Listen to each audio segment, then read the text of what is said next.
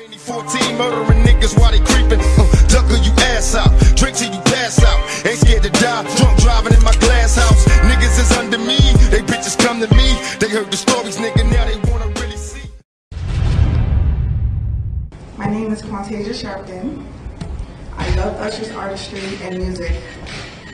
I went to a concert of his with some friends a few years ago to celebrate my birthday. I was wearing a birthday crown, and because of that, I was selected to go backstage before the show.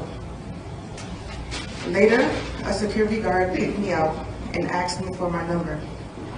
He told me Usher had seen me backstage and was interested in me. After the show, my friends and I returned to the hotel. I got a call from Usher on a block number asking me what hotel I was staying in and the room number. About an hour later, he arrived. We spoke for a while and then we engaged in sexual contact. He never warned me about any STDs. It was just after my 19th birthday. I never heard from him. When I first heard reports that he had herpes, I couldn't believe it. I had a child a year ago and I knew I was negative. But I contacted Lisa Bloom to find out what my rights are as a woman.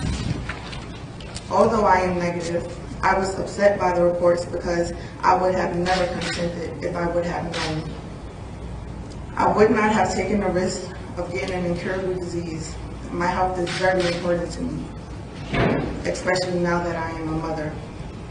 I feel that my rights were violated. I am speaking out today on behalf of myself and others, some of whom are positive and are embarrassed to speak out publicly. I am doing this so that he does not do this to anyone else. Usher, if you are negative, please say so. If you are positive, you need to warn your sex partners so that they can make their Man, this bitch built like Monique, nigga. Nah, son, my, my son Usher ain't going out like that, you feel me? And she not even suing for the fact that she she don't even got herpes. So what the fuck is she suing for? Emotional distress? You feel me? And, and two, you don't even know if Usher got herpes or not. You know, this nigga didn't even come out here and address it, nothing. If I was Usher, nigga, I'm dropping an album. And be like, yo, I'm addressing all these these rumors on this album. Go buy that shit when it drop. That's all y'all need to know. You feel me? Fuck out of there. All publicity, good publicity, nigga. Fuck is you talking about? But, but look, man, her ass built like uh, Monique and shit. Talking about Usher chose me out, of in the crowd, my birthday crowd. Bitch, get your ass up. You feel me? Fuck is you talking about? Out of all the females he could have chose out of that crowd, he chose your big ass. You feel me? Fuck is you talking about?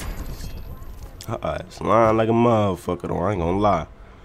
But yo, subscribe, like, comment. I ain't really want to talk on this because this shit was unbelievable to be honest. But, know, I'm off to you?